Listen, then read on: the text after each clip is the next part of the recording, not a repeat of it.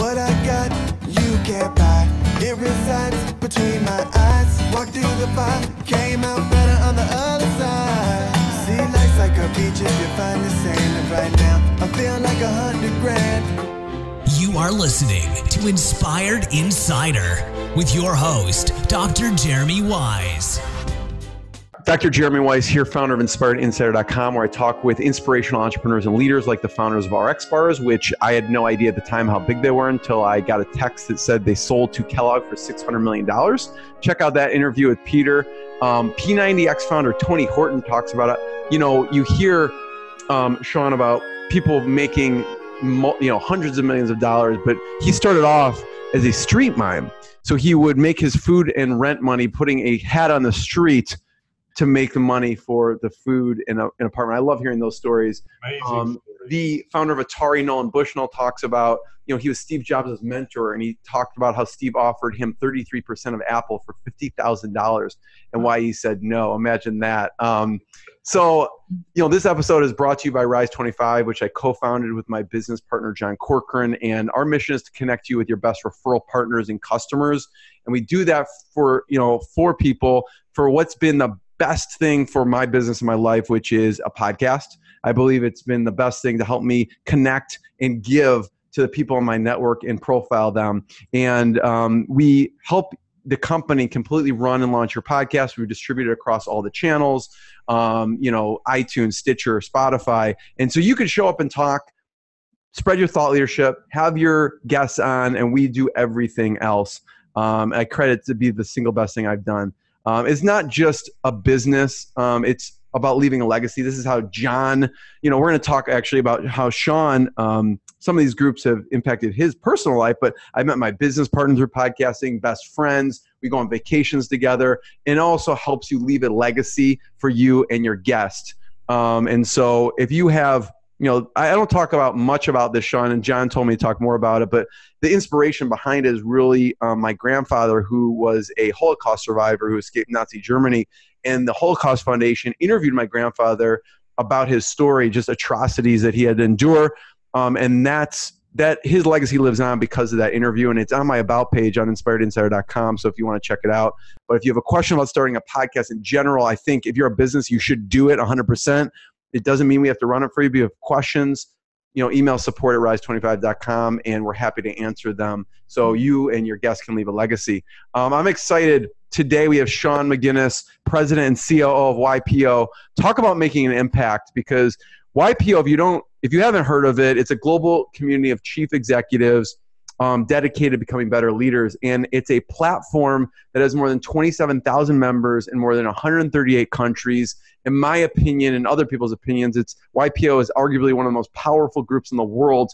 To qualify, a member has to have at least $10 million in annual sales. I was listening to you and Cameron Herold talk. People, shout out to Cameron Herold and his podcast, but he was talking about how I guess the members of YPO in Thailand – um, make up a, like a 30% of the GDP or something, you know, of, you know, who are involved in YPO because of the impact, global impact and the national impact you guys and your members have. Sean began his career in South Africa, one of the country's largest producer of agricultural chemicals, and he founded an organizational development consulting business and an executive search business. Um, and currently is an advisor of two companies. Shout out to Newly, it's N U O O L Y, which is a gig economy business for independent attorneys, and REM Brothers, REM Brothers, which is a hospitality and food service business. So if you're near Purdue University, um, near Lafayette or Dallas, check it out. Sean, thank you for joining me.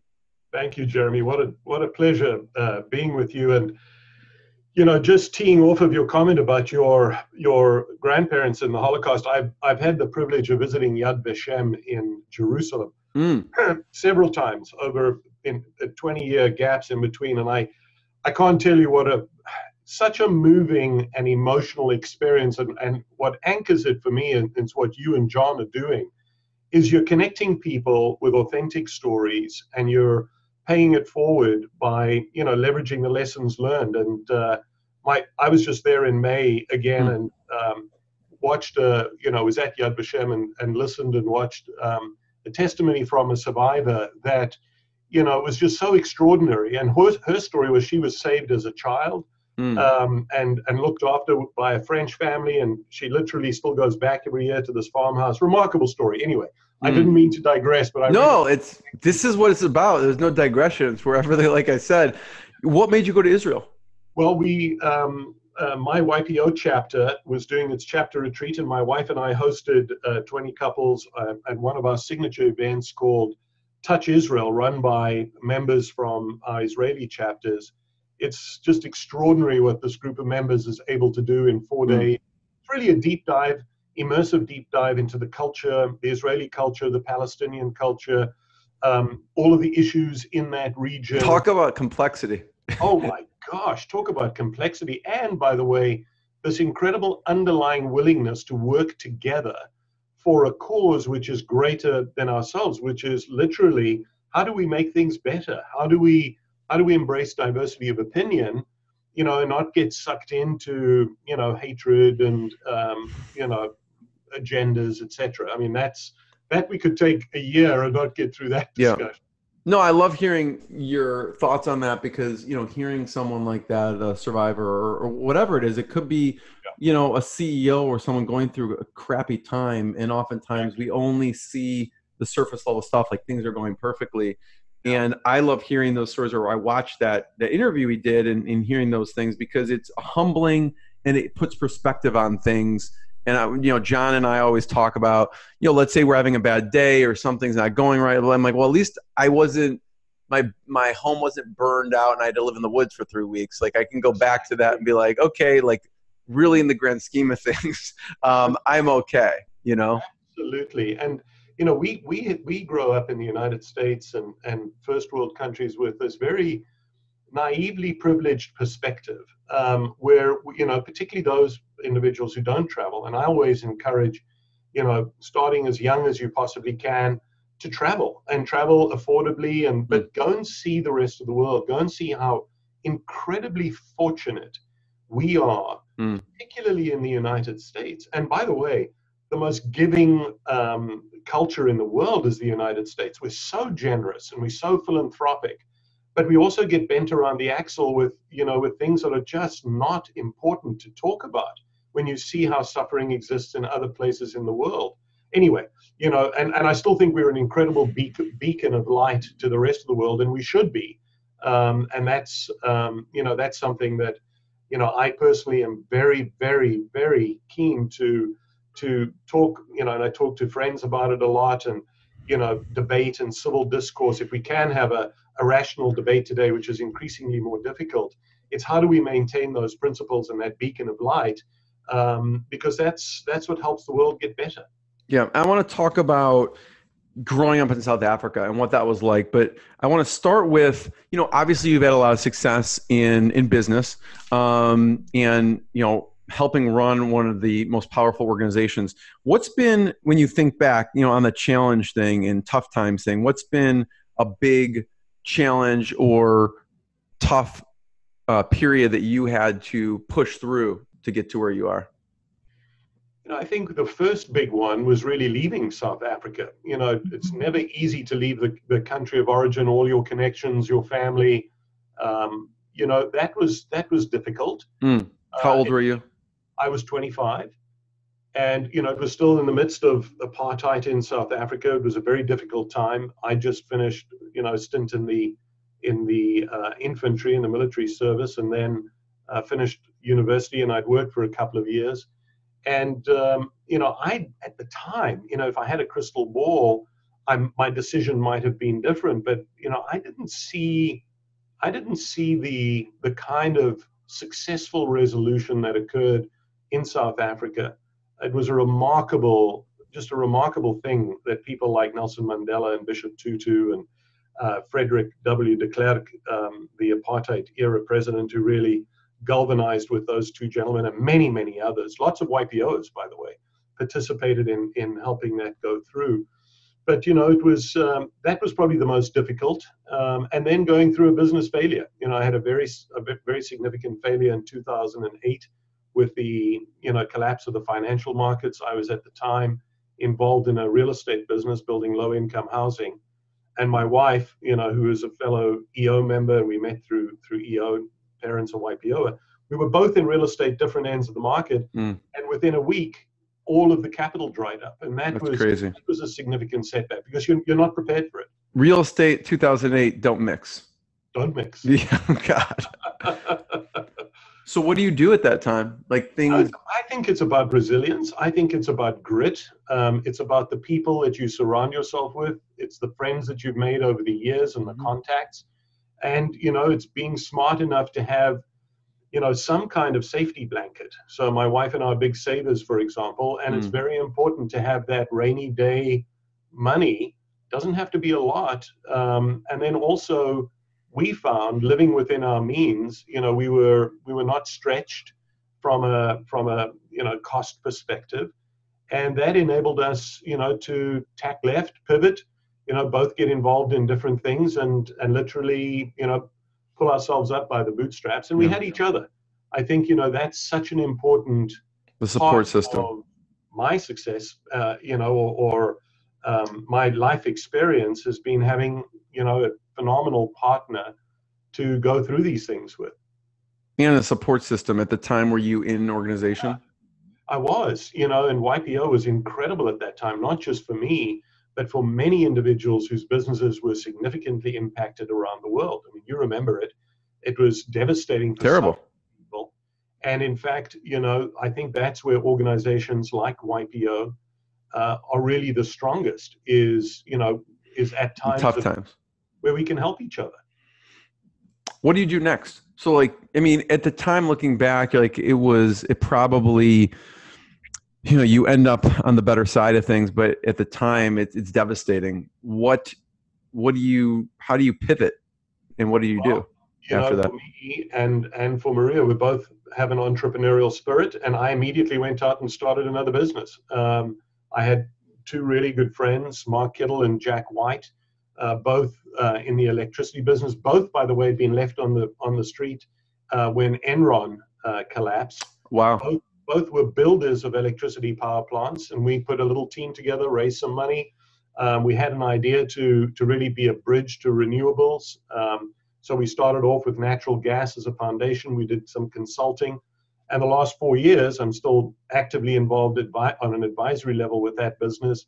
We're about to build a, you know, a really sizable, very probably the cleanest natural gas power plant uh, that'll be built at the time that's going to go up, um, hopefully over the next two years. Um, but that's what you do. You you just you dig down. You find a way to um, you know uncover an opportunity Yeah. and you get cracking um, i just i didn't even i didn't we didn't spend a week worrying about it or i mean there was a little commiseration i have to tell you there was probably some Johnnie Walker black you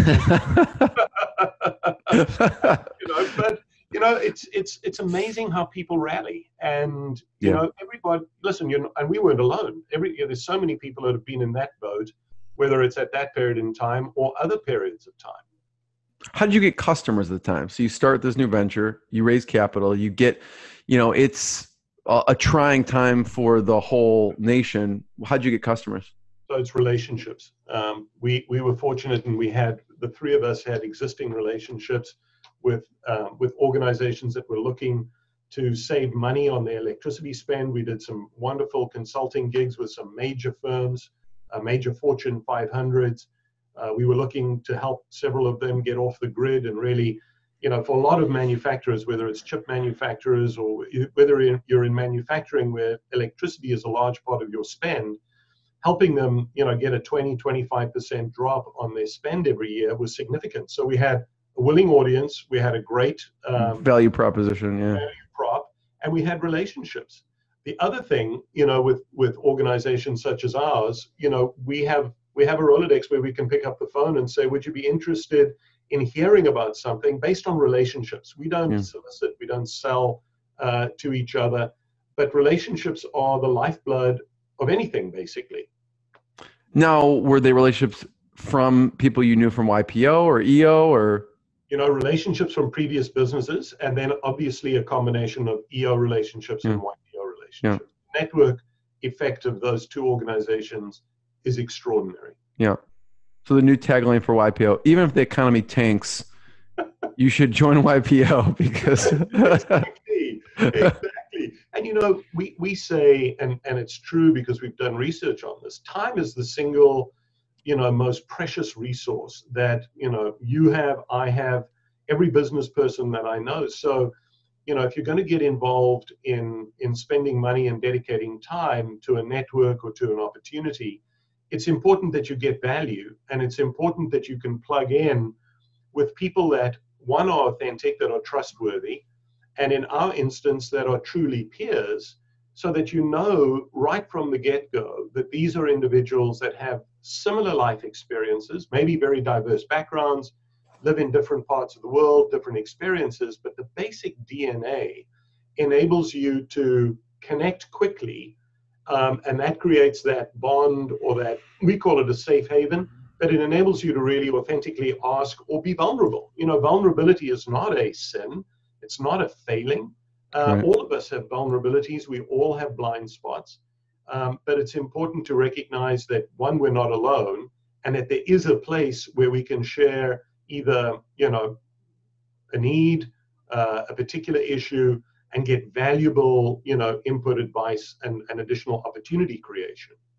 Sean, I mean, you have a unique perspective because you probably touch and are in contact with more YPO members and even groups than the normal person.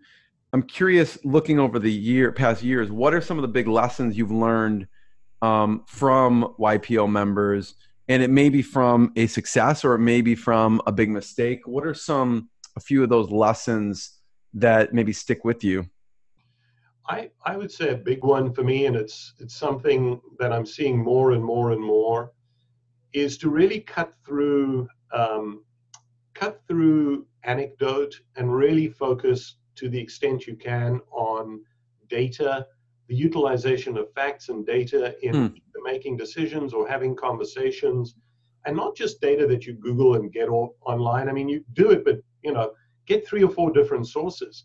Actually, pay attention to you know the realities on the ground and the best way to do that by the way is to ask people that are doing it that are in it you know if there's an issue like we had in el paso recently you know and and the big border immigration issues that the united states have instead of you know listening to the mainstream media you know go and talk to people that are on the ground. Actually if you if you truly are interested go and see for yourself. And so that's a huge lesson. You know the, mm. the the most profound conversations I have with members or you know peers is really authentically listening and dealing with you know the facts that they have and then mm. also being open to different points of view and different sets sets of, of data because you know data can be manipulated etc but factual you know to be yeah. as factual as possible is critical you know there is there's so many lessons that come from that so that's one that's a big uh, that's a big aha for me.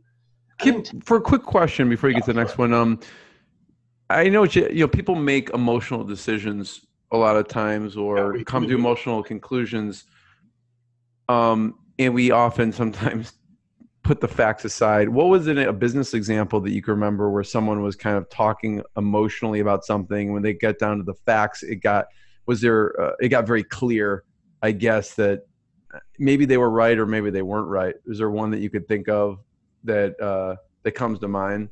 Um, you know, I'm sure there's there's a myriad. One doesn't come to mind mm. But let me let me dwell on. Yeah, on go ahead.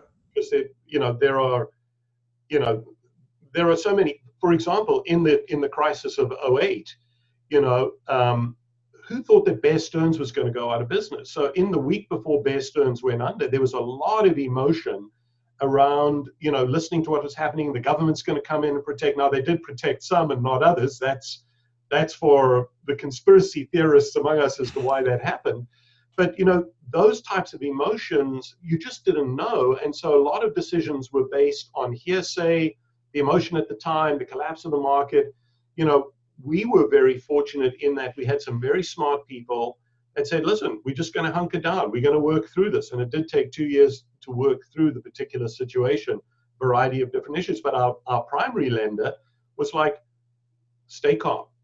You know, this is not going to be talking to the people on the ground. Exactly. And so, you know, it's very, very easy to get caught up and make an emotional decision. Right. It's very difficult to step back Mm. and breathe and sort of Yeah. apply the 24 hour rule, you know, the sleep on it rule. It's tough when Yeah. everything is going to hell in a handbasket. If you would have listened to everyone else, you'd be like, "Oh, everything's dried up. We're doomed." And talking to the actual people, the person was kind of, "Listen, we got, we got this. Don't worry about it." Right. Yeah.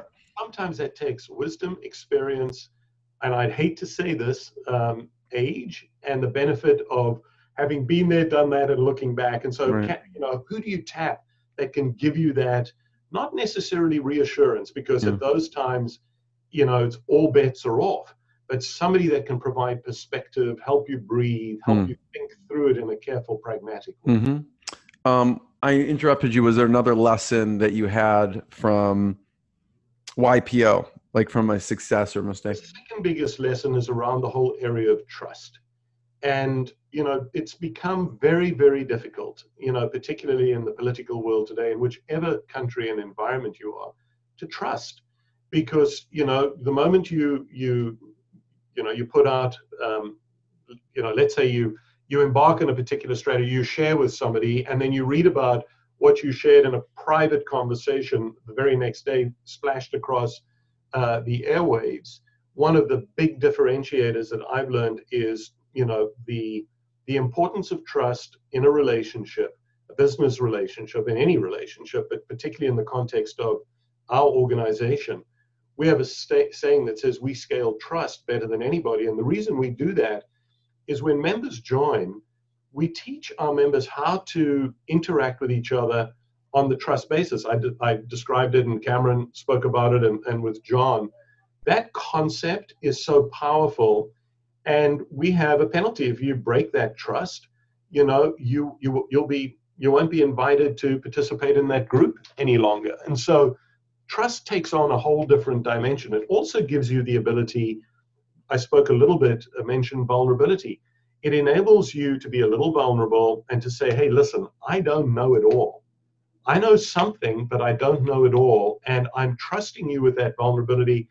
Through your experiences, can you help me with something? And that's extraordinary. So, those two elements, I think, for me, stand out uh, amongst a plethora. I mean, there have been so many, so many values um, and, and lessons learned, Jeremy. So how do you in a obviously you bring together people who don't know each other, come in, they become vulnerable and trust. What are some of the ways that you teach people to, you know, cultivate that that trusting environment?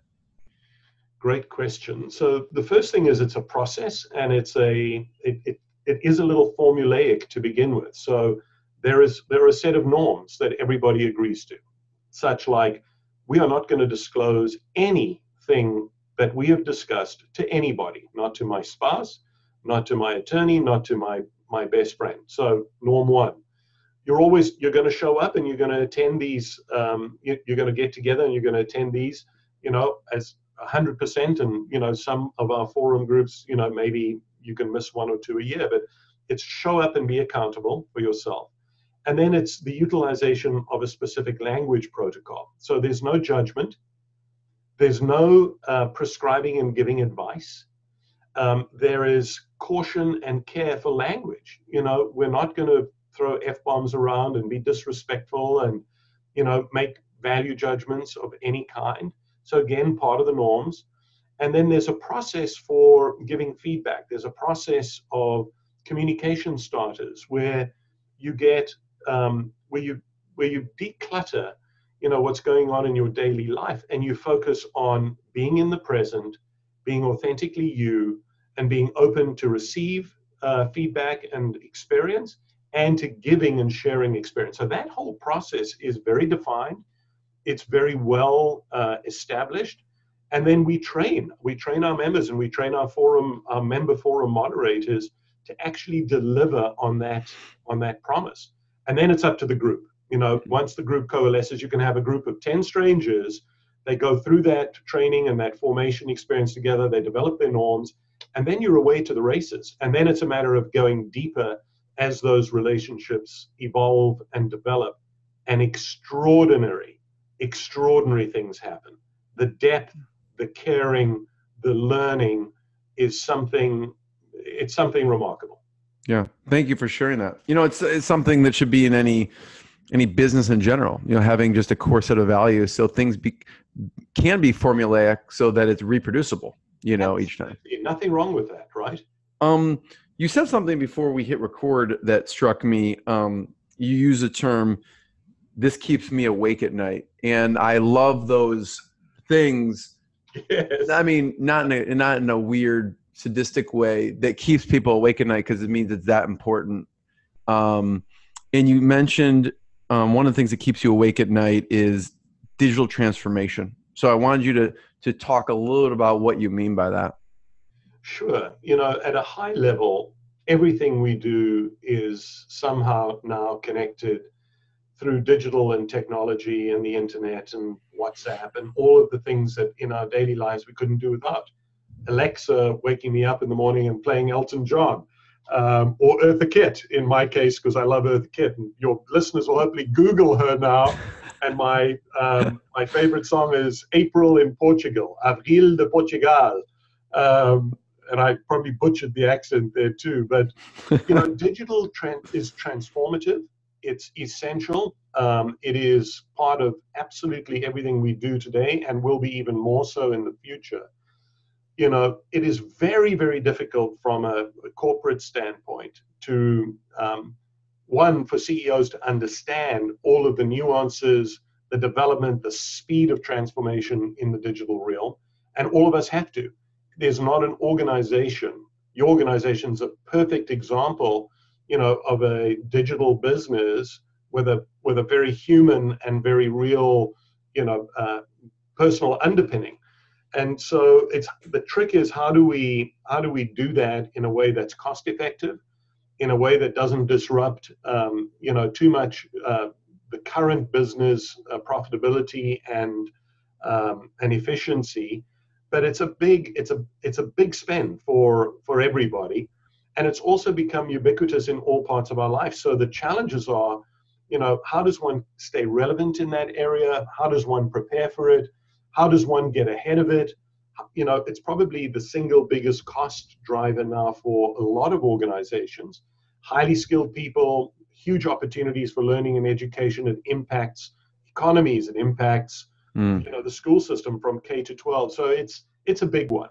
Um, and then there are obviously narrow areas within that, but that does keep me up at night because it's so important.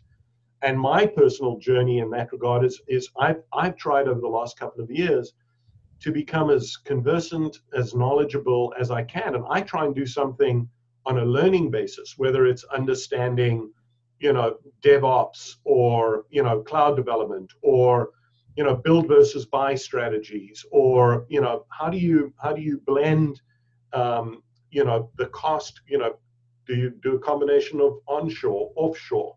How does you know how do how do the various applications that exist out in the marketplace benefit your members and how do we access that in a way that's both usable simple effective easy?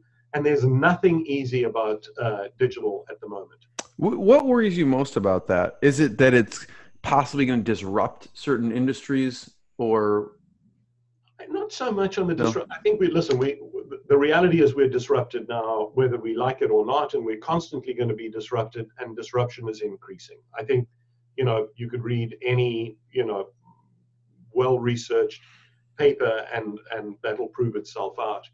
I think the more important thing is on the um, on two things really the the reality that we all have to spend and develop and understand and um, you know and really embrace digital on, in all aspects.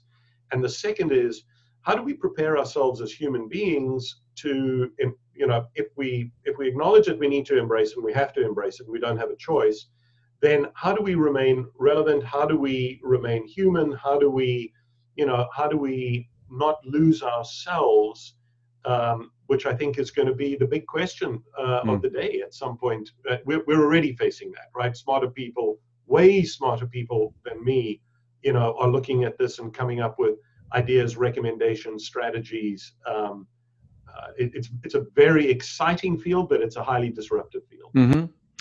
Talk about Newly for a second, because this kind Newly. of this, this kind of bridges that right a gig economy business for independent lawyers Yes. how did you hear about them what what is that what do they do So a dear friend of mine, Michael Roybal, and I were neighbors. Um, when we first moved to Dallas, we were both uh, newlyweds. He's a very successful global trade attorney, and he'd left the big firms. You know, he was being billed out at $750 an hour, uh, probably only getting $100 of that in his pocket. Um, and he decided to go out on his own and built a very successful practice over the last 20 years. And you know, Michael and I were sitting down, um, and, uh, as we would, and over a glass of wine, and we were talking about the reality of the service and the gig industry and how, you know, the big service firms all carry a massive amount of overhead. That overhead Totally. gets passed on gets passed on to the client, so we end up paying for it. Um, and I shared with Michael, you know, that we use uh, independent attorneys for a lot of our work who come from big firms, who still, in some instances, you know, have a liaison with that firm if you need the big firms for really important stuff. And there's a place for both. You need the big firms not only for name and brand, but for you know certain core expertise. But you need attorneys to do a bunch of different things. So um, Michael and um, uh, and his partner Rosalie um, said to me, "Why don't you join? This is an idea that we have." A couple of years back, and um, you know, we, we raised some seed money and we built a platform. And so the whole idea is create a community for independent attorneys. Um, and they have to be vetted, they have to pass background checks, they have to be credible people with a track record, with verifiable, you know, clients and um, and ability. And we want to, you know, we want to create a, a, space for them to share customers together, go out and build new business, and really provide a home because they don't have that connectivity and that glue and that camaraderie of working in an, in a in an operation all day where they're with people um, and leverage that. So it's very exciting, and um, I think it's I think it's got the makings of something extraordinary. If it works, um, you know, we'll we'll take it to independent accountants, and our, our niche is independent professionals. Mhm. Uh, start in the US and then we'll go broader broader field. But I love it, and it also gives me a little. It's kind of a Saturday Sunday couple of hours on a weekend for me. Um, you know, Michael and I live close close by to each other, um, and you know, it's an opportunity to stimulate the entrepreneurial juices. Yeah, I mean, anything that helps with inefficiencies or cuts off some of the fat is always very valuable. And there's a lot of that in that, you know, if you're hiring an outside firm, they're billing a certain amount, the person's collecting, you know, there's all these inefficiencies in that process, right?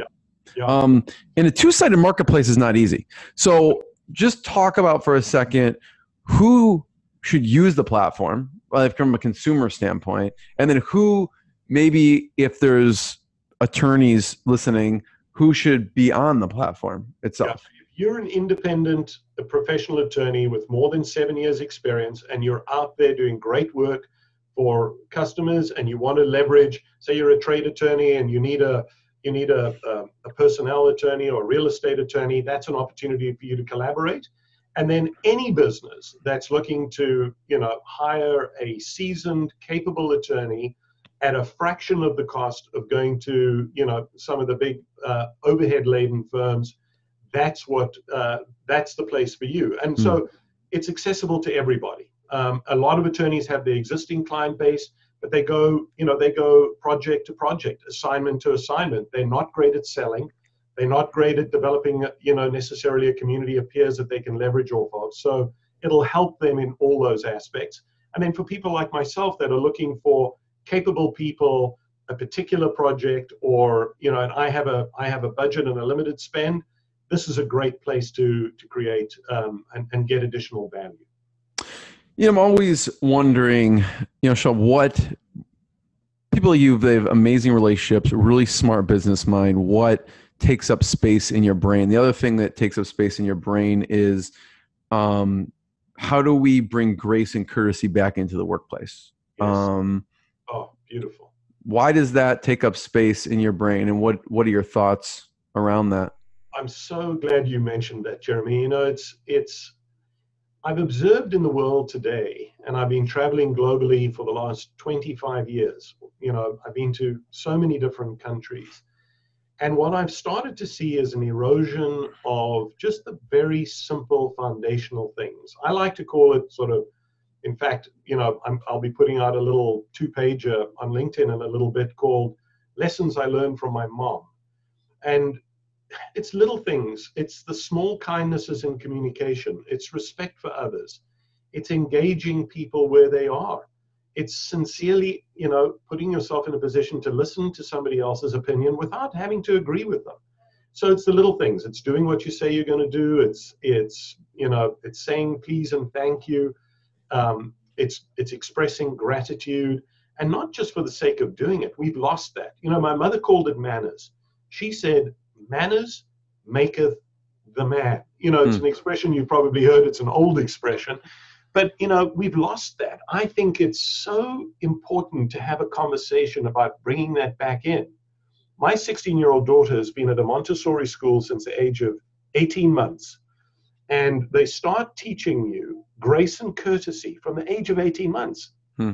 open the door they they help each other she she'll help you know the smaller kids down the corridor make sure that they're okay make sure if they go to the restroom that everything's cool we don't do that anymore because we've hmm. become we become so, I think, um, used to crassness and crudeness, and you know, and I'm, you know, again, I don't want to place my value um, critique on that, but I think there's something deeply fundamentally um, important about the little things. It doesn't mean that you know you're you have to be a saint. I'm not a saint, and there's no such thing as perfection, and humanity is messy. But can't we just get back to you know, respect for each other. You know. Why do you think we've lost some of that?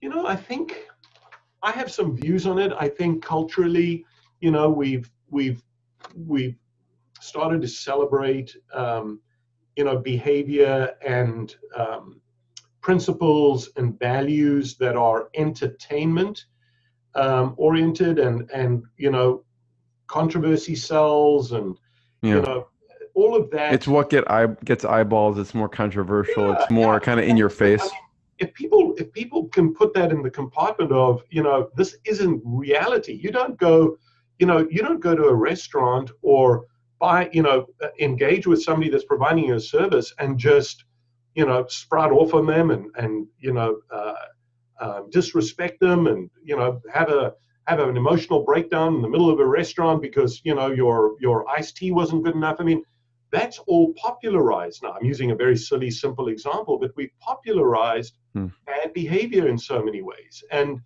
again, you know, again, I'm not blaming digital and and the it does so many great things, but I just think as human beings, what I want personally, I, I just want to be treated with respect. You know, I want to be thanked if you know I do something you know that's worthy of being thanked, and that's the little thing. So if we hmm. could if I could plant a seed with your audience about, you know, knowing what separates yeah. good people and good leaders uh, and authentic people from those that are bad actors, it goes down to those simple fundamental truths. Um, and I, I think we need to start having more conversations about yeah. that. Yeah, I was thinking about this this past week, and I want to know how do you think we bring that back in the workplace? But I was thinking about this because you know when you as a business owner you have people coming in and they treat you a certain way some people treat you well some people not as well but you love you like dealing with the people who treat you well you give them better service you know whether it's subconsciously or consciously because you like them and you want to serve them and i thought about that of i should be treating the business i do business with like you know they're my customer because i want them to like me and want to serve me the best possible. And we, I, I, I don't know why I came to that realization that, I mean, I try and, you know, like you said, no one's perfect, but I try and treat them, uh, whoever I'm dealing with in business and be courteous. Because it's very easy to, like, if someone doesn't, you know, serve you in a certain way to kind of like have that expectation, and then snap back. But it's, they I realized like I just need to treat them as if they are a customer and I'm bringing them on as a customer of mine. So well, it's definitely top of mind. I think it's important, and you know, we when when individuals come to work, I love your example of the workplace too. You know, the you come to work not just in the role with the title and the responsibility. You come as a human being. you come with all of the issues that are going on in your life. And let's acknowledge that life can be messy and difficult for all of us. We all go through those waves.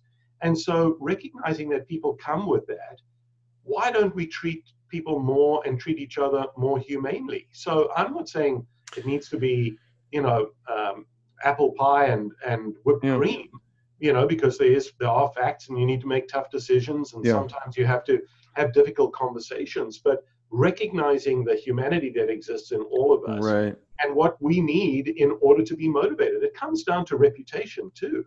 Yeah. You, you know, do you want to live your life with a reputation that's really spotty as a leader? Um, because then you're going to get what you create at the end of the day. Yeah. I mean, someone told me this and uh, it resonates with me and I do it, but I remember I was on hold maybe for like 30 minutes. I don't know, maybe it was an airline or something. And you know, the obviously the reaction is to be pissed, and and I think um, sympathizing with the person because that person is just a person on the other end. It's not their fault, yeah. but just saying, you know, calming myself down by saying, "You must be super busy over there," and they immediately they you know treating you treat them like a person, and they're like, they can vent a little bit and they realize they then want to serve me a little bit better because I'm I'm sympathizing with their situation instead of me like why the hell was I on hold for 30 minutes? You know? And listen it is important not to be trapped in in the drama triangle you know and and and and buy into you know certain things. So it, there, there are things that I have learned about not being too attached to the story but it's also being respectful that that story has power and it has impact for the person sharing the story. Or you know so there are those techniques and things that you learn and it's perspective and you you know you and i both know we're going to deal with 25 different things today and i don't know what i'm going to be dealing with in a half an hour from now. It could be some distress a medical emergency you know something going wrong in a in a particular aspect of our business um, we've got to be prepared for that. And as leaders, you know, particularly, it's important to develop the skill set, the mindset, and to look daily. You know, I'm a work in progress. There is no other way to describe myself. And so it's a daily chore. It's, you know, how do I want to show up today? What's what is, you know, who do I want to connect well with today? What did I learn from yesterday? You know, those are the types of things that help you progress and I think help you retain that explorative aspect of your mind, which enables you to move forward. Because otherwise, you'll get stuck. Has been my experience. You know, Sean, you help oversee an organization of more than 20, 27,000 members. What what's the hardest part about your job? Oh boy, um, I think probably balancing interests. You know, different interests, and making sure that um, a lot of different interests. A yeah. lot of different interests. Yeah. Making sure that those interests um, align, and making sure that in, you know that from a you know from a communication standpoint, um, individuals understand the big picture, the cause, and really focus on the value and outcome, as opposed to you know I've got a particular beef or particular I want to you know I want to be the the I want my priority to be to be number one helping them understand that you know we're an ecosystem you know we're a you know we're a we're a you know afraid afraid to you know going down a particular path. And you know we've got commitments we've got things on the go. And so it's balancing all of that. And then you know part of that is really keeping the eye on the prize you know and the eye on the prize is really being a steward and you know providing a platform for extraordinary connections for extraordinary people and if you keep your eye on the prize, that can solve a lot of a lot of um, a lot of the day-to-day realities of running any business, quite frankly. Yeah. So the eye on the prize and the the the underlying the value that you provide so that you kind of use that as a, a north star to make certain decisions what beautiful phrase north star i mean that's exactly what it's about um you know you mentioned your mom obviously had a big impact on you. Uh, um, I wanted you to talk about growing up in South Africa. What was it like? How does that well, influence you? Uh, it was almost an idyllic, I mean, idyllic, you know, it, life is never idyllic, right? As I said, but, you know, both my parents um, were, um, were hardworking people, both entrepreneurs.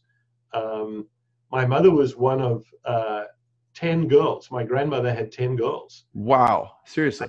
32 first cousins. it's pretty amazing. Wow. Uh, all great people. Um, I was very close to all my aunts.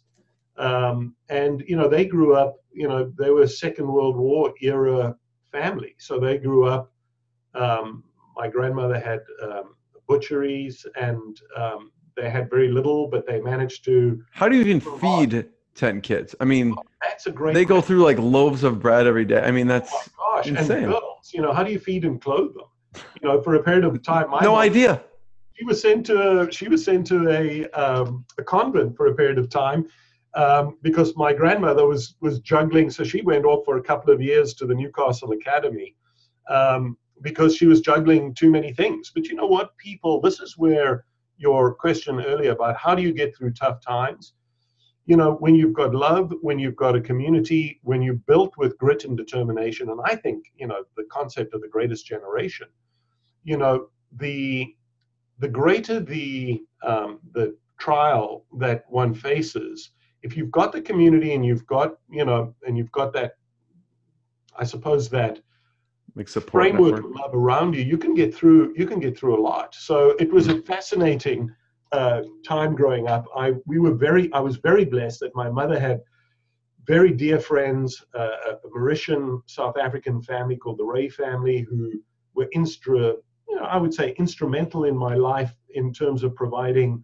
um, you know, the kinds of family familial relationships um, that that I that I still respect and admire today. You know, these extended relationships between families you know, um, are starting to dissipate somewhat. Um, you know, mm. we would we would spend vacations um, at our friends' uh, homes. Um, we would do Christmases together, New Year's together, and uh, you know, so that growing up was amazing. I think the, you know, another big part of growing up is I my parents had a um, had a, a, a, a African uh, gentleman by the name of Peter Ndlovu as their houseman, their house uh, manager, um, who was with us for my whole formative time growing up. Um, and I, I, there's a book in this, by the way, because it's a very emotional story. But he was not allowed to leave our house after six o'clock at night. He had to have a pass to work and live in our neighborhood. All these just bizarre, um, dehumanizing apartheid rules but you know the bond that I formed with him and my he was like a third parent. Um, mm. And you speak to my sister, you know, my brother. There was just this incredible uh, recognition. One that something was wrong, but oh my God, what an amazing man and what an amazing relationship. Um, and then just the beauty of the country. You know, it's an extraordinary people, uh, extraordinary group of people, extraordinary place geographically, so much potential. So it was a privilege growing up, despite the very strange, bizarre circumstances, you know, that people were living in. Yeah, you mentioned the emotional part for him. What was what was his sentiments that he described to you about well, you know, about it? One, you know, he had to be very careful in public in the way that he treated us, touched us. He was a very physical guy, so you know, he would put us to bed every night. He would hug us. We would when we would, you know, when we had a you know, fell out of a tree and, you know, sliced a, a, leg or something, he'd be the person to patch us up. And many years later, you know, I, I retained my relationship with him until he, he died. Um, but, you know, he went to, my parents got divorced and he went to work for a really dear friend of my parents. And I'd go and see him every year. And in his room, there were pictures of, you know, my sister, brother, myself, and, and he ri- literally called us his babies. Yeah. Um, so you know, the difficulty for him was his inability to express that very important part of his life. Uh, and excuse the emotion, but yeah. you know, it it was very tough for him. But you know, he didn't dwell on it. He he re- he just retained this sort of unconditional care, deep affection for us, um, and we retained that same relationship, even though you know we'd moved 700 miles away you know there was there was no daily connectivity you know certainly from the time we were teenagers then after i emigrated i saw him less frequently but you know the, the indelible lessons that uh, excuse me that he that he left was people are people. And, you know, when you're loved and cared for, race disappears, color of skin disappears. Right. Um, profound, profound lesson. Yeah. To you, it's normal, you know, because you live it and to hug someone, it doesn't matter like the color of the skin, the religion, but someone else who didn't experience that. I mean, it's hard for someone who didn't live that and experience it to probably even grasp what you're saying, you know? Mm. You know, my brother Greg does a lot of great work. He's got a diversity business, um, and he and he goes and he teaches big companies, big Fortune 500 companies. Mm. Um, and you know, kind of as a white guy, grow, having grown up in South Africa under apartheid, he's there up on, on, you know, in front of these groups, and he's leading sessions on the importance of of you know authentically understanding how you can connect at a human level, and it's yeah. tough for people. You know, if you've not experienced it, to your point, how do you how do you you know how do you delayer that how do you take all of those life experiences where somebody has told you that person is bad because of that that you know religious group is nasty because of that how do you how do you delayer that so and we yeah. all have it within us by the way i mean i have seen miraculous things particularly through you know through ypo where you know we we don't advocate we are a we are not religious. We don't take an, uh, a political advocacy position. And when you put people together who you would you wouldn't even think would have the ability to talk to each other in a trusted environment, it just miracles happen. And you know that's that's what gives me hope in the world, by the yeah. way, because I see it all the time. Yeah. First of all, Sean, thank you. Thank you for sharing that, and I appreciate it. And thank you for sharing your stories. And um, I just want to be the first one to thank you for taking your time and sharing your wisdom. Um, and on my list, I haven't read it yet, but "Born a Crime" by Trevor Noah is on my list oh, to to uh, to read. I don't know if you've you've read it or, or heard of it, but that that's it's kind of a crazy story, um, and and that's definitely on my to do list. You've got to read it, and you know he's he's a great South African export. I I just can't say enough about him. In fact, he came to speak to in, in March this year. We had him as our closing keynote at a big um, event for over 3,000 members in Cape Town. Hmm. And he got a five minute standing ovation. Wow. And, you know, he's just, he, you know, he's, he's the real deal. Um, you know, I grew up very privileged um, in South Africa. He didn't. And, uh, you know, not that my life's any less important than his, but what a, what an incredible, um, an amazing human being, a truly yeah. amazing guy. Yeah. So thank you, Sean, for sharing your story. Where should we point people towards? I mean, obviously, you know, we could send them to uh, ypo.org. ypo.org. Um, we'd love to if, if you if you're a CEO in uh, any part of the world and you run a qualifying business and you'd like to both give back and, and learn and um, be part of a community where it's about you know putting in as, as much as you put in you know you'll get out. That's a promise and guarantee from me. Um, we'd love to we'd love to um, we'd love to have you look at it. And awesome. Jeremy just thank you. Um, yeah. what an absolute pleasure and thank you for all you're doing thank you. Check out ypo.org thank you. What i got you can't buy.